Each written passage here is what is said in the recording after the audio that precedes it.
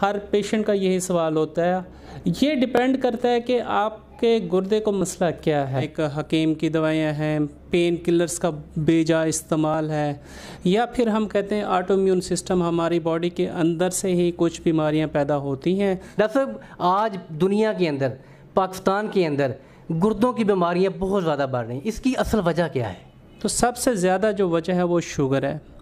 इसके बाद हमारे पास क्या होता है कि ब्लड प्रेशर की बीमारी है, वो गुर्दे को मुतासर करती है, और कुछ किडनी स्टोन्स हैं जिनको हम पथरियाँ बोलते हैं। असलम के नाजिन गुर्दों की बीमारियाँ क्या हैं, उनसे कैसे बचा जा सकता है, और इनकी निशानियाँ क्या हैं? आज हमारे साथ मौजूद हैं assistant professor doctor Samiullah Khan साहब, जो कि टीचिंग हॉस्पिटल साहिवाल में हेड ऑफ़ डिपार्टमेंट हैं और नेफ्रोलॉजिस्ट हैं। आइए उनसे बात करते हैं कि गुर्दों की बीमारियों से कैसे बचा जा सकता है। असल डॉक्टर साहब। जी अलैक्म डॉक्टर साहब कैसे हैं आप? अल्लाह का शुक्र है मैं खैरियत से हूँ। आप ठीक हैं? जी शुक्र है अलहमदिल्ला डॉक्टर साहब बहुत शुक्रिया कि आपने अपने कीमती वक्त में से हमें ये टाइम दिया। उसके लिए हम आपके मशहूर हैं। डॉक्टर साहब आज दुनिया के अंदर पाकिस्तान के अंदर गुर्दों की बीमारियाँ बहुत ज़्यादा बढ़ रही हैं। इसकी असल वजह क्या है? जैसे आपने ज़िक्र किया है कि पूरी दुनिया समेत पाकिस्तान में भी गुर्दे की बीमारी बहुत बढ़ती जा रही है। और इसकी कुछ ख़ास वजूहत हैं और जिनकी वजह से ये मर्ज़ रोज़ बरोज़ बढ़ता जा रहा है। जहाँ तक हम ज़िक्र करते हैं कि वजूहत क्या हो सकती हैं तो सबसे जो बड़ी वजह है वो हमारी शुगर की मर्ज़ है। और अगर आप एक अंदाजे के मुताबिक कह सकते हैं कि अप टू सेवेंटी परसेंट जो पेशेंट किडनी डिज़ीज़ के हैं वो शुगर के मरीज़ भी हैं तो सबसे ज़्यादा जो वजह है वो शुगर है। इसके बाद हमारे पास क्या होता है कि ब्लड प्रेशर की बीमारी है, वो गुर्दे को मुतासर करती है और कुछ किडनी स्टोन्स हैं जिनको हम पथरियाँ बोलते हैं, उनकी वजह से गुर्दा ख़राब होता है। कुछ लोकल मेडिकेशंस हैं लाइक हकीम की दवाइयाँ हैं पेन किलर्स का बेजा इस्तेमाल है, या फिर हम कहते हैं ऑटोम्यून सिस्टम हमारी बॉडी के अंदर से ही कुछ बीमारियाँ पैदा होती हैं और जो हमारे बॉडी के साथ साथ हमारे गुर्दे को भी मुतासर करती हैं। तो वजूहत की एक लंबी लिस्ट है बट जो मोस्ट कॉमन वजह है, गुर्दे फेल होने की या गुर्दे ख़राब होने की, वो शुगर की बीमारी है। डॉक्टर आपने एम बी बी एस कहाँ से किया है और एफ़ सी पी एस कहाँ से किया है और साहिवाल में आपकी अपॉइंटमेंट कब हुई? एम बी बी एस मैंने निश्तर मेडिकल यूनिवर्सिटी मुल्तान से किया है और जो F C P S nephrology किया है that is from Sheikh Zayed hospital Lahore और फिर मेरी जो पहली अपॉइंटमेंट हुई थी, वो भी निश्तर मेडिकल कॉलेज मुल्तान में हो गई थी एज ए नेफ्रोलॉजिस्ट और 2015 2015 में मैं सहीवाल में मेरा ट्रांसफ़र हो गया था एंड फ्राम 2015 अब तक मैं सहीवाल मेडिकल कॉलेज में अपने सरफ्राई सर अंजाम दे रहा हूँ। जी। डॉक्टर गुर्दे जो हैं वो फेल होने की असल वजूहत क्या हैं? जैसे मैंने ज़िक्र किया है कि गुर्दे फेल होने की वजूहत तो बहुत ज़्यादा हैं। शुगर एक बहुत कॉमन बीमारी है उसकी वजह से गुर्दे फेल हो जाते हैं। ब्लड प्रेशर है, उसकी वजह से होते हैं, गुर्दे की पत्थरियाँ हैं आटोम्यून प्रोसेस है लाइक ल्यूपस नेफ्राइटिस है, या र्यूमाटाइड आर्थराइटिस जिसको गेंठिया भी बोलते हैं, उसकी वजह से हो जाता है। पेन किलर्स का बहुत ज़्यादा इस्तेमाल है, और बाज़ ख़वातीन ऐसी होती हैं जो दौरान हमल उनके गुर्दे ख़राब हो सकते हैं। बट जो सबसे कॉमन वजह है वो शुगर है हमारी कम्युनिटी में और पूरी दुनिया में भी। अच्छा डॉक्टर सी के डी जो क्रोनिक किडनी डिज़ीज़ है, उसकी वजूहत क्या है? सी के डी हम टर्म यूज़ करते हैं जब भी गुर्दा मुतासर होना शुरू होता है लाइक के अगर किसी पेशेंट का यूरिया बढ़ना शुरू हो जाता है या क्रिएटिनिन बढ़ना शुरू हो जाती है, और वो खुद कुछ ख़ास अरसे तक बढ़ी रहती है तो हम उसको टर्म यूज़ करते हैं सी K D C K D mean chronic kidney disease और फिर हम इसको आगे डिवाइड करते हैं कि ये सीकेडी स्टेज वन है सीकेडी स्टेज टू है थ्री है फोर है या फाइव तो जो गुर्दे की बीमारी है उसको हम अपने अल्फाज में गुर्दे की बीमारी कहते हैं। और अगर हम उसके लिए कोई टर्म यूज़ करना चाहते हैं तो उसके लिए हम सी के डी का लफ्ज़ इस्तेमाल करते हैं। जो देसी अद्वियात हैं लोग यूज़ इस्तेमाल करते हैं क्या देसी अद्वियात भी गुर्दों के फेलियर का बहस बनती हैं? हाँ जहाँ तक देसी अद्वियात की बात है तो ना तो अद्वियात बनाने वाले को पता होता है और ना ही जो खा रहा होता है उसको पता होता है कि वो क्या चीज़ इस्तेमाल कर रहा है। आप बाकी मेडिकेशन देख लें, हर चीज़ का अंडरस्टूड होता है कि कौन सी दवाई ले रहा है, उसके क्या बेनिफिट्स हैं, क्या उसके नुकसान हैं। बट देसी दवाइयों में कुछ भी नहीं पता होता। वो अंधेरे में तेल चढ़ रहा होता है। और उसके साथ फिर ये होता है कि वो गुर्दे को जाके मुतासर करती हैं। गुर्दे के लिए नुकसानदेह होती हैं और देसी दवाइयाँ खाने से बहुत सारे पेशेंट हमारे पास आते हैं जिनके गुर्दे फेल होते हैं और फिर उनको बाद में डायलिसिस की ज़रूरत भी पड़ती होती है। अच्छा डॉक्टर साहब, आजकल सोशल मीडिया के ऊपर और हर दीवार के ऊपर एक मर्दाना कमज़ोरी की मेडिसन जो लिखी जाती हैं, नायाब तोहफ़ा होता है तो उसके बारे में आप क्या कहेंगे कि वो भी किडनी के ऊपर इफ़ेक्ट करती हैं? जहाँ तक बात है कि हर दीवार पे, वो तो हर दीवार पे हर बीमारी का इलाज लिखा हुआ है, माशाल्लाह हमारे पास। और इस दीवारों के अलावा भी ये होता है कि लोग हकीमों के पास भी जाते हैं दम भी करवाने जाते हैं और पता नहीं क्या क्या होता है, ये नहीं पता होता। क्योंकि हमारे पास जो पेशेंट पहुँचता है तो वो इन सारे स्टेप्स से होके आया हुआ होता है। वो पहले हकीम के पास जाता है, फिर दम करवाता है और फिर जब मामला बहुत आगे चला जाता है तो वो हमारे पास आता है। और वो जिस स्टेज पे आता है, मेरे ख्याल में वो स्टेज काफ़ी लेट हो चुकी होती है और एट द एंड हमें फिर डायलिसिस के अलावा और कोई ट्रीटमेंट ऑप्शन नहीं होता हमारे पास कि हम कर सकें। तो ये, जो आपने बात की है कि हर दीवार पे मर्दाना कमज़ोरी का इलाज है। अगर तो आप कोई केमिकल फार्मूला ऐसा यूज़ कर रहे हैं जो मेडिकल फ़ील्ड में भी, हमारे प्रोफेशन में भी इस्तेमाल किया जाता है, जो स्पेसिफिक होते हैं इस काम के लिए, वो तो ठीक है लॉजिकल बात बनती है कि उसका आपके पास स्टडीज़ हैं, आपके पास उसका नॉलेज है, आपको उसका पता है उसके साइड इफ़ेक्ट्स क्या हैं तो वो तो लॉजिकल है। बट जब आप हैवी मेटल्स इस्तेमाल करते हैं, आप कुश्ते बनाते हैं, आप डिफरेंट किस्म के उसमें हैवी मेटल्स डालते हैं तो वो एट दी एंड आपके गुर्दे को मुतासर ही करती हैं। क्योंकि हैवी मेटल्स गुर्दे के लिए नुकसानदेह होती हैं और उससे गुर्दे की बीमारी बढ़ते भी है और गुर्दे फेल भी होते हैं। तो मैं तो रिकमेंड नहीं करूँगा कि आप इस तरीके से कोई मेडिसिन लें जिसका ना आपको पता है और ना ही देने वाले को पता है और आप उसको चुप कैसे खा लें इस सोच के साथ कि आपके गुर्दे भी ठीक रहेंगे और आपको वो मतलूबा फ़ायद भी मिलेंगे। डॉक्टर ये जो डायलिसिस करवाते हैं, ये डायलिसिस करवानी ज़रूरी हैं, ये इसकी एक कौन सी स्टेज होती है जहाँ पे डायलिसिस बहुत ज़रूरी हो जाते हैं। डायलिसिस देखें, हमारे पास जब गुर्दे काम करना छोड़ जाते हैं लाइक सीकेडी स्टेज फाइव हो जाती है तो उसके बाद जिस समय कुछ ऐसी अलामत शुरू हो जाती है, जैसे मरीज़ को उल्टियाँ शुरू हो जाती हैं, उसकी बो ख़त्म हो जाती है, उसको झटके लगना शुरू हो जाते हैं, उसकी नींद का मसला होता है, या जिसम पे ख़ारिश होती है खून की बहुत कमी शुरू हो जाती है जिसम पे सोजिश पड़ जाती है या फिर कि मरीज़ का जो सिस्टम है जो क्वालिटी ऑफ़ लाइफ है वो डिस्टर्ब हो जाती है। और उसका जो हम यूरिया और क्रिएटिन देखते हैं कि वो कोई 10 पे पहुँचा हुआ है कोई 20 पे पहुँचा हुआ है तो उस टाइम फिर सर्टन इंडिकेशंस होती हैं हमारे पास जिनको हम देख के ये डिसाइड करते हैं कि अब मरीज़ के गुर्दे काम मरीज़ को डायलिसिस की ज़रूरत पड़ गई है।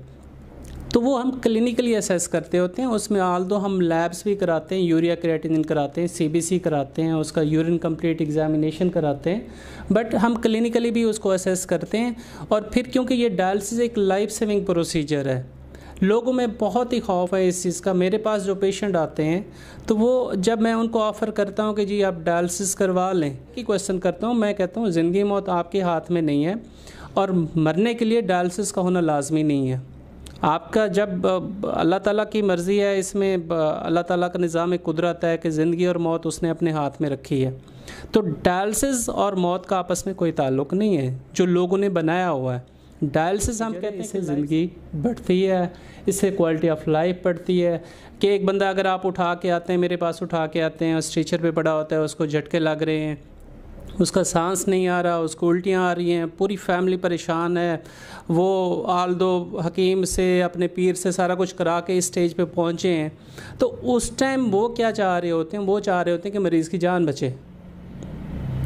और जान बचाने के लिए फिर हमें डायलिसिस कराना लाजमी होता है। इसमें मैं एक चीज़ ऐड करना चाहूँगा कि ये हमारी जो कम्युनिटी है इसके अंदर ना एक बहुत बड़ा खौफ पाया जाता है कि जी हमने डायलिसिस नहीं करवाने। वो मरीज़ को लटकाए रखते हैं, लटकाए रखते हैं। एक लेवल आता है, हम कहते हैं डायलिसिस करें, वो कहते हैं नहीं करवाना। फिर अगले डॉक्टर्स के पास जाएँगे, वो पूरा पंजाब, पूरा पाकिस्तान घूमेंगे कि जी डायलिसिस से बचना है। और इस, इसी चीज़ को कैश करते हैं, हमारे जो हकीम बैठे हैं, हमारे जो पीर साहिबान बैठे हैं, वो इसी चीज़ को कैश करते हैं कि हमने डायलिसिस से जान छुड़ा देनी है आपकी। और एट दी एंड ये होता है कि मरीज़ जब बिल्कुल एंड स्टेज पर आता है कि उसके जिसम के अंदर कुछ नहीं है, उसकी क़वत मुदाफ़त ख़त्म है, उसके जिसम में खून नहीं है, उसके जिसम में फेफड़े में पानी पड़ चुका है, झटके लग रहे हैं। तो उस टाइम फैमिली वो पीरों को भी भूल जाती है। वो हकीमों को भी भूल जाती है। उस टाइम सारा का सारा उनका फोकस होता है, जी, इसकी जान बचाई जाए। और वो बाज़ कंडीशंस में वो बहुत लेट हो चुके होते हैं। उनमें हम डायलिसिस करते हैं तो शायद वो वाले हमें रिज़ल्ट्स नहीं मिलते जिनकी वो तो कर रहे होते हैं। और इस सब के पीछे उनका अपना ही कसूर होता है कि उन्होंने टाइम बहुत वेस्ट कर लिया होता है टाइम बहुत ज़ाय कर लिया होता है कि जब उसको डायलिसिस की, उसके मरीज़ को डायलिसिस की ज़रूरत थी तब उसने नहीं कराया। और अब बिल्कुल एंड पे जब बहुत ज़्यादा कॉम्प्लिकेशंस हो चुकी हैं तो वो डायलिसिस के लिए लेकर आ गए। और उन कंडीशंस में हो सकता है कि उसको कोई इतना ज़्यादा बेनिफिट ना हो। और फिर ये क्या होता है? ये मरीज़ को लेके आए, बिल्कुल ख़त्म करके लेके आए। इन्होंने कहा, जी, डॉक्टर साहब डायलिसिस करें। और मैंने जैसे बोला कि वो, हम काफ़ी लेट हो चुके होते हैं। और फिर यही वाले लोग पूरी दुनिया को बताते हैं, जी, ऐसी तो मरीज़ का डायलिसिस कराया, ऐसी तो बंदा मर गया। अब वो उसके पीछे जितनी भी इतनी बड़ी स्टोरी होती है तीन चार महीने की कि वो डॉक्टर ने तीन चार महीने पहले अगर बोला था डायलिसिस का और आपने उस पर अपने दुनिया जहान के सारे तजर्बे कर लिए हैं। तो अब आप जब डॉक्टर के पास लेके आएँगे डॉक्टर के पास भी जादू तो नहीं है। डॉक्टर ने भी इलाज ही करना है आपके मरीज़ का। तो वो इलाज करता है, उसमें सक्सेसफुल हो जाता है, आपका मरीज़ ठीक होता है, नहीं होता तो आप ऑलरेडी लेट कर चुके होते हैं इसको। तो ये एक समझने की ज़रूरत है कि जब आपको डॉक्टर बोले कि इसका मरीज़ का डायलिसिस की ज़रूरत है, इसको डायलिसिस करवा लेना चाहिए। उसको डिले नहीं करना चाहिए। आप डिले करेंगे तो अपने मरीज़ के साथ खुद ही ज़्यादती करेंगे। अपने मरीज़ का नुकसान आप खुद ही करेंगे आप। जी, डॉक्टर साहब पेशेंट को जो है, बहुत लेट पता चलता है कि मुझे गुर्दों का मसला हो गया है। शुरू के अंदर स्टार्ट के अंदर, वो कौन सी ऐसी अलामत हैं जिनसे मरीज़ जो है, वो स्टार्ट में ही आपके पास पहुँच जाए कि मुझे गुर्दों का मसला हो रहा है। उसकी इब्तदाई निशानियाँ क्या हो सकती हैं? देखिए, आप अगर पूछते हैं ना कि मरीज़ को कैसे फॉर एग्ज़ाम्पल मैं कहता हूँ कि कोई पेशेंट है जिसको शुगर है, वो उसको कैसे पता चलेगा कि उसका गुर्दा मुतासर होना शुरू हो गया तो शुगर के मरीज़ में सबसे पहले अगर उसके यूरिन में प्रोटीन आना स्टार्ट होती है, सबसे पहले यूरिन के अंदर प्रोटीन आती है। और अगर वो प्रोटीन आना शुरू हो गई है तो इसका मतलब ये है कि उसका गुर्दा मुतासर होना शुरू हो गया है। तो अगर प्रोटीन आ रही है तो आपको फौरी नेफ्रोलॉजिस्ट के पास जाना चाहिए। अगर आपके जिसम पे पाँव पे आपकी आँखों पे सुबह उठते हैं और आँखों पे सोजिश होती है तो आपको अपने गुर्दे का मुआयना करना चाहिए। अगर आपका ब्लड प्रेशर कंट्रोल में नहीं है 160, 170 या 200 प्लस पे रहता है तो आपको गुर्दे के लिए मुआयना करवाना चाहिए। अगर आपके गुर्दे में पथरी हैं और आपके गुर्दे में वो रुकावट पैदा कर रही हैं, जिसको हम नाइट्रोनेफ्रोसिस भी कहते हैं और लोग इसको कहते हैं जी गुर्दे पानी पै गया ठीक है? तो फिर भी आपको गुर्दे का मुआयना करवाना चाहिए। तो ये टिपिकल सी आप एक सिंपल सा टेस्ट है, मैं आपको बता देता हूँ कि सिंपल सा टेस्ट है जिसको हम आर एफ़ टीज बोलते हैं, जिसमें एक यूरिया होता है और एक क्रिएटिनिन है। अगर वो अपनी लिमिट से ज़्यादा है तो इसका मतलब है आपका गुर्दा फेल होना शुरू हो गया। अगर आपके गुर्दे में प्रोटीन आ रही है तो इसका मतलब है अलार्मिंग साइन है, आपको फौरी उसका इलाज करवा लेना चाहिए। अगर आपकी एच भी कम हो रही है तो उसको देखें कहीं वो गुर्दे की वजह से कम तो नहीं है।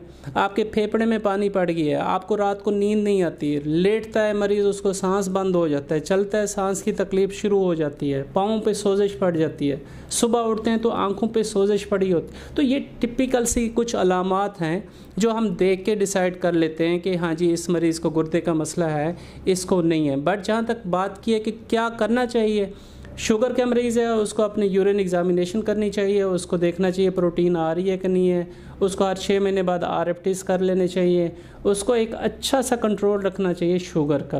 तो ये कुछ अलामत हैं और कुछ बेसिक से टेस्ट हैं जिनको हम करके ये डिसाइड कर सकते हैं कि इधर इसको गुर्दे का मर्ज है कि नहीं है। अच्छा ये क्रीटानिन जो है ये क्या है? और ये अगर तो, थोड़ा सा इंक्रीज़ हो जाए गुर्दों पे क्या असरात मरतब होते हैं? देखें, मैंने अभी ज़िक्र किया था आपसे कि जो गुर्दे का बेसिक टेस्ट है, जो गुर्दे के फ़ंक्शन को बताता है कि गुर्दा ठीक काम कर रहा है कि नहीं कर रहा, वो एक यूरिया है और एक क्रिएटिनिन है।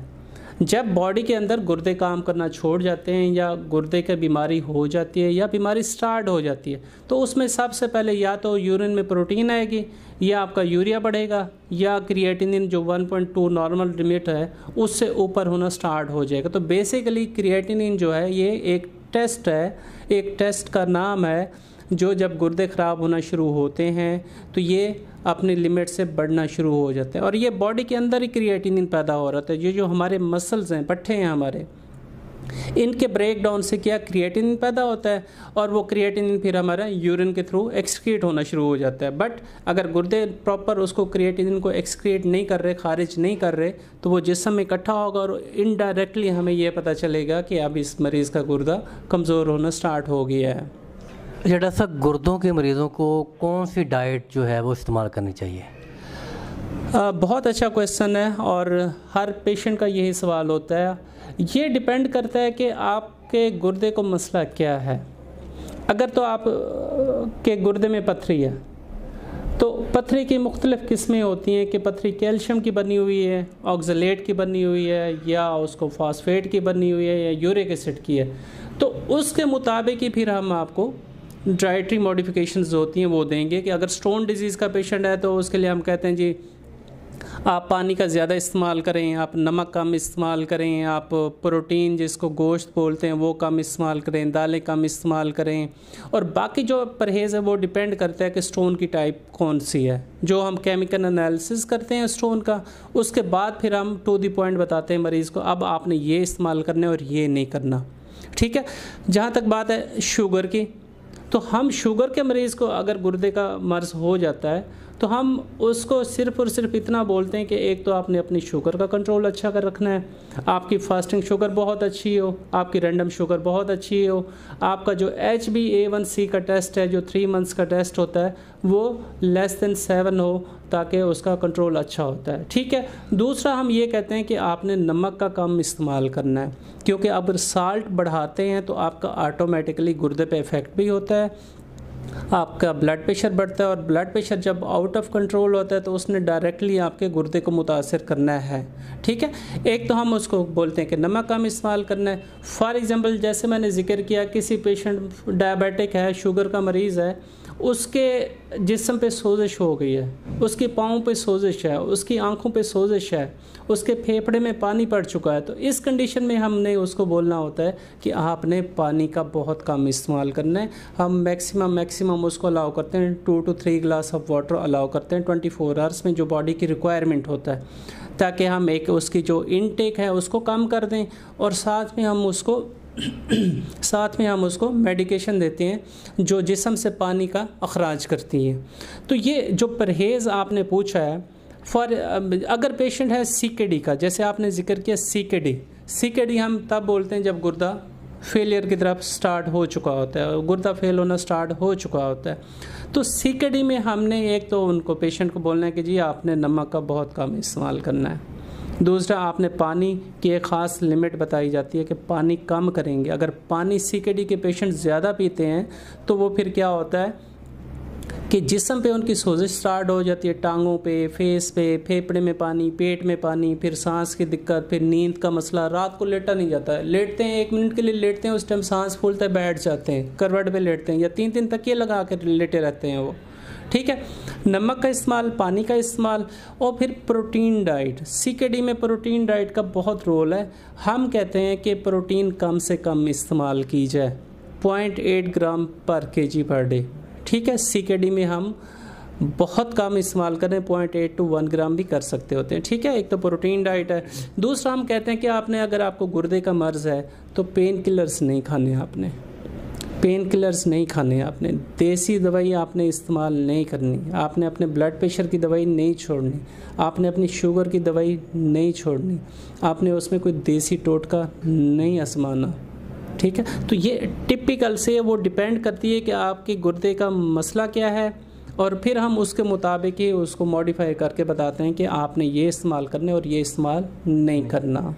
अच्छा डॉक्टर साहब, हमारे जो ज़्यादातर लोग जो है, वो अनएजुकेटेड हैं, उनको नहीं पता कि प्रोटीन होती क्या है? प्रोटीन लेनी कितनी है? और प्रोटीन का जो है, लेवल क्या है? तो ये थोड़ा सा प्रोटीन के बारे में बता दें कि प्रोटीन है क्या चीज़? बेसिकली प्रोटीन क्या होती है? देखिए, बॉडी के कुछ टिपिकल से हिस्से हैं, जो इनके साथ आपकी बॉडी बनी हुई है। कार्बोहाइड्रेट्स हैं आपके फैट्स हैं जिनको हम चर्बी बोलते हैं और प्रोटीन ये जो हमारे मसल मैस है जिसको हम गोश्त भी बोल सकते हैं हम उर्फ़ आम इसको गोश्त भी बोल सकते हैं ये प्रोटीन होती है ठीक है? तो ये एक तो सॉलिड फॉर्म में आपके मसल्स की सूरत में मौजूद है एक आपके ब्लड के अंदर है जिसको हम एल्ब्यूमिन बोलते हैं। तो नॉर्मल क्या होता है कि अगर कोई नॉर्मल बंदा है जिसको कोई गुर्दे का मसला नहीं है तो उसके यूरिन से प्रोटीन खारिज नहीं होती आपके गुर्दे प्रोटेक्ट करते हैं प्रोटीन यूरिया को कि प्रोटीन आपके किडनी से खारिज ना हो। अगर किडनीज का मसला हो गया है, गुर्दे मुतासर होना शुरू हो गए तो तब आपके जिसम से थ्रू यूरिन पेशाब के ज़रिए प्रोटीन खारिज होना शुरू हो जाएगी।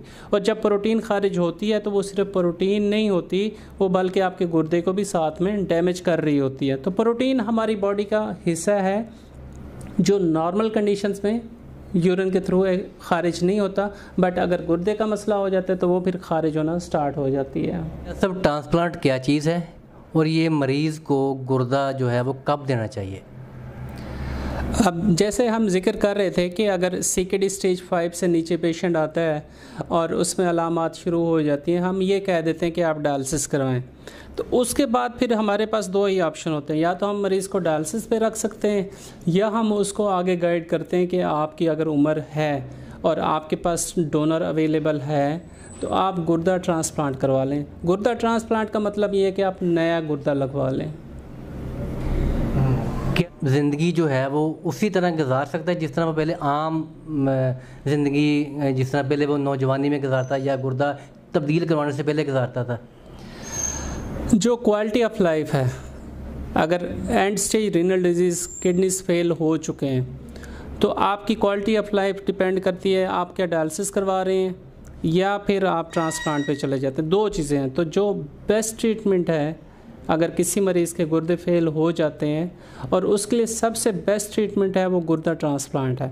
उसको फौरी ट्रांसप्लांट पे ही चले जाना चाहिए।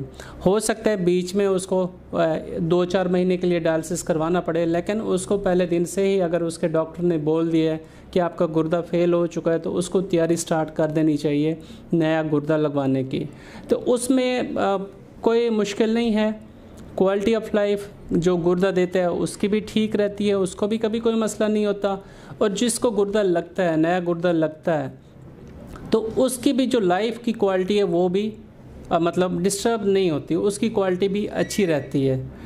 सबसे बड़ा मसला होता है कि गुर्दा देना किसने है? डोनर उसका कौन है? तो ये हमारी सोसाइटी में थोड़ा इसका मसला है क्योंकि जो फैमिली मेंबर्स हैं वो रिलेक्टेंट होते हैं अपना गुर्दा देने के लिए कि नहीं देना हमने। बाज़ात उनका ब्लड प्रेशर नहीं मिलता होता। बाज़ात ये होता है कि जो फैमिली के अंदर जो भी पोटेंशियल डोनर्स होते हैं उनमें या तो कोई शुगर होती है या ब्लड प्रेशर होता है या उनको ख़ुद को कोई और बीमारी होती है। तो जो डोनर होता है, जिसने गुर्दा देना है, वो बिल्कुल नॉर्मल होना चाहिए, यानी उसको शुगर नहीं होनी चाहिए। ब्लड प्रेशर सर्टन लिमिट तक उसका एक्सेप्टेबल है। गुर्दे की पथरियाँ, उसको प्रोटीन का कोई मसला नहीं होना चाहिए, उसका यूरिया क्रेटिन नॉर्मल हो हेपेटाइटिस बी सी है एच है उसका अल्ट्रासाउंड ठीक तो उसको 100 परसेंट फिट होना चाहिए। ये ना हो कि वो खुद फिट ना हो, उसके गुर्दे कमज़ोर हों और आप उसका एक गुर्दा लगवा लेते हैं, जो कि पॉसिबल नहीं है, क्योंकि इसके लिए एक पूरी टीम बैठती होती है, जो असेस करती है कि गुर्दा देने वाले को अगर एक गुर्दा दे देता है तो बाद में ये तो नहीं होगा कि इसका जो बचा हुआ गुर्दा है, वो फेल हो जाए और ये ख़ुद भी डायलिसिस पे आ जाए। तो ये प्रॉपर असेसमेंट होती है और बाकायदा एक टीम बैठती है जो ये डिसाइड करती है कि ये जो गुर्दा बंदा दे रहा है, ये बाद में इसके लिए तो कोई मसला नहीं बनेगा।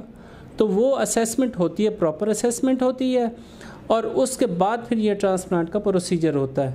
तो कहने का मकसद इतना है कि देने वाले को तो कभी कोई मसला नहीं होता। बहुत ही माइनर से चांसेस हैं कि उसको कोई इशू हो जाए।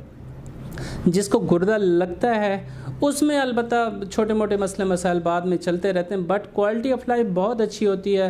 आ, हमने देखा है कि जो यंग एज में जिनके गुर्दे फेल हुए हैं बाद में उनकी शादी भी हो जाती है चाहे वो मर्द हो या औरत हो शादियाँ भी होती हैं उनके बच्चे भी पैदा होते हैं और वो एक नॉर्मल लाइफ गुजार रहे होते हैं। मेडिकेशन उनको आल तो लेनी पड़ती है बट उनकी लाइफ कंप्रोमाइज़ नहीं होती।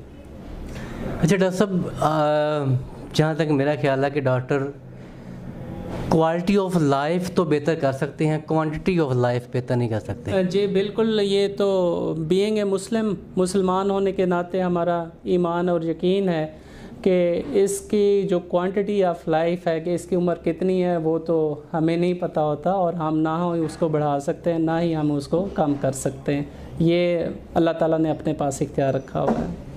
डॉक्टर साहब ये जो ड्यूरिंग प्रेगनेंसी है हमल के दौरान या जो डिलीवरी के दौरान और किसी औरत के गुर्दे फेल हो जाएँ या फेल हो सकते हैं या अगर फेल हो जाएँ तो क्या करना चाहिए?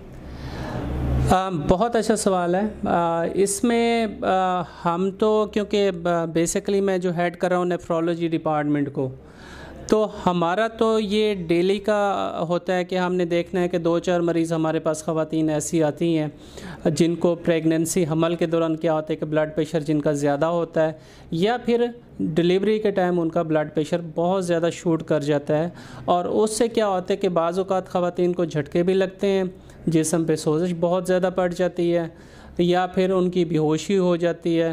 तो साथ के साथ क्या होता है हमने जो देखा है कि कुछ वजूहत हैं जिनसे गुर्दे फेल हो सकते हैं। ख़वान का अगर ब्लड प्रेशर कंट्रोल में नहीं है 160 है 170 है, इससे ज़्यादा है तो उसके गुर्दे मुतासर हो सकते हैं। हमल के दौरान अगर प्रोटीन की मकदार बहुत ज़्यादा खारिज हो रही है पेशाब में तो गुर्दे मुतासर हो सकते हैं। या बच्चे की पैदाइश के दौरान क्या हो सकता है? अगर ब्लड प्रेशर 200 पे चला जाता है और फिट्स झटके लगना शुरू हो जाते हैं उससे गुर्दे मुतासर हो सकते हैं। क्या होता है कि हमल से जो बच्चा पैदा होने से पहले बाज़ ख़वान को ब्लीडिंग स्टार्ट हो जाती है और वो इतनी ज़्यादा होती है कि उनका ब्लड प्रेशर नीचे आ जाता है, उनमें गुर्दे फेल हो सकते हैं। अगर बाज़ात ये होता है कि आप लोकल, आप अपने इलाके में, आप गाँव में या अपने घरों में आप दाइयों को बुला के डिलीवरी कराते हैं तो वो बाज़ात मिस हैंडलिंग इतनी होती है, या तो बच्चे के अंदर ही डेथ हो जाती है या फिर बच्चे की पैदाइश के बाद उसके कुछ जो पार्ट्स होते हैं, कुछ हिस्से होते हैं, वो आपके बच्चेदानी के अंदर रह जाते हैं। उससे क्या होता है कि जरासीम पैदा होते हैं जिसम में और जरासीम से फिर क्या होते हैं, आपके गुर्दे ख़राब होते हैं। हमने तो ये देखा है कि ये जितनी भी वजूहत मैंने बताई हैं, इनसे गुर्दे फेल भी होते हैं, और फिर ये पेशेंट हमारे पास जब आते हैं तो एट दी एंड हमें डायलिसिस भी करने पड़ते हैं। फिर डायलिसिस पे कुछ अरसे के लिए रखते हैं इनको।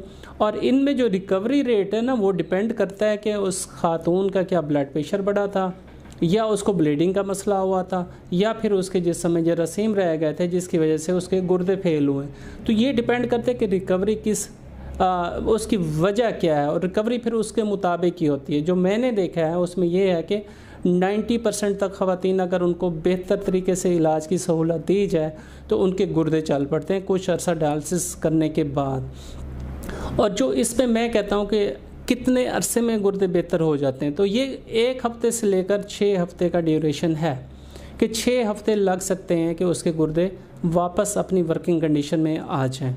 तो जो हामला ख़वातीन हैं अपने ब्लड प्रेशर पे बहुत तवज्जो रखें, उसको लेस दैन 140 140 से नीचे नीचे रखें और अपना प्रॉपर मुआयना गायनाकोलॉजिस्ट से कराएँ।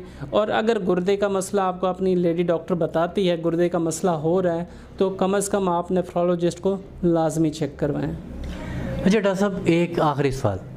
What is the difference between nephrologist and urologist difference जो है वो हमें तो क्लियर कट पता है बट आम लोगों के लिए, आम पब्लिक के लिए मतलब हमारी जो पॉपुलेशन है उसके लिए मैं बता देता हूँ कि जहाँ पे आपके गुर्दे के मर्ज़ को ठीक करने के लिए ऑपरेशन की ज़रूरत पड़े। लाइक जिसम में गुर्दे में पथरी पैदा हो गई है, जिसने गुर्दे को ब्लॉक किया हुआ है, या गुर्दे से नीचे जो पेशाब की नाली होती है, उसके अंदर पथरी पांस गई है, उसने गुर्दे को ब्लॉक कर दिया है जहाँ ऑपरेशन की ज़रूरत पड़ जाए तो तब आप यूरोलॉजिस्ट के पास जाएँ। तब आपका हल यूरोलॉजिस्ट के पास है, उसने या तो आपका ऑपरेशन करना है, या वो जो ब्लॉक हो गया आपका, जो पेशाब का पाइप है, उसको निकालना है, या प्रोस्टेट अगर हो जाता है, हमारे 60 प्लस जो हमारे बुज़ुर्ग हैं, उनके अंदर प्रोस्टेट की बीमारी हो जाती है तो प्रोस्टेट का ऑपरेट करना है तो आप यूरोलॉजिस्ट के पास जाएँ आपने गुर्दे का ऑपरेशन करवाना है यूरोलॉजिस्ट के पास जाएँ। खुदा न खस्ता गुर्दे में ट्यूमर है, मसाने के अंदर कोई रसोली है, आप यूरोलॉजिस्ट के पास जाएँ इसके अलावा नेफ्रोलॉजिस्ट के पास कब जाना चाहिए? आपके गुर्दे मुतासर होना शुरू हो गए हैं प्रोटीन आना शुरू हो गया है, आपका यूरिया क्रेटिन बढ़ गया है, आपकी शुगर आउट ऑफ़ कंट्रोल है, आपका blood pressure out of control है आपके जिसम में अंदर से कोई बीमारियाँ पैदा हो गई हैं, जिनको ऑटो इम्यून डिज़ीज़ कहते हैं, तब आप नेफ्रॉलो तो ये डिफरेंस आ जाता है। अगर तो आप सर्जिकल तरीके से गुर्दे का इलाज कराना चाहते हैं तो आपका जो डॉक्टर है वो यूरोलॉजिस्ट है। और इसके अलावा गुर्दे फेल हैं, डायलिसिस पे हैं, उसका इलाज करना है, ट्रांसप्लांट है पोस्ट ट्रांसप्लांट उसकी मैनेजमेंट किया है गुर्दा ट्रांसप्लांट के बाद। ब्लड प्रेशर नहीं कंट्रोल हो रहा है शुगर कंट्रोल नहीं हो रही है, पानी पड़ गया है जिसम के अंदर, खून की कमी हो गई है, भूख, ये आपका नेफ्रोलॉजिस्ट डील करेगा। तो ये बड़ा सीधा सा डिफरेंस है दोनों नेफ्रोलॉजिस्ट एंड यूरोलॉजिस्ट के अंदर। जी डॉक्टर साहब, बहुत शुक्रिया आपका कीमती टाइम हमने लिया। ये थे जी assistant professor doctor Samiullah Khan साहब जो कि हमें सी के डी और गुर्दों के जो मसाइल हैं, उनके मतलब हमें आगाह कर रहे थे। तो इनके साथ अपॉइंटमेंट के लिए आप इनके नंबर पे रबता कायम कर सकते हैं। हमारी स्क्रीन के ऊपर इनका जो अपॉइंटमेंट नंबर है, वो चल रहा है। अगली वीडियो में दोबारा हाज़िर होंगे, तब तक के लिए अल्लाह हाफिज़।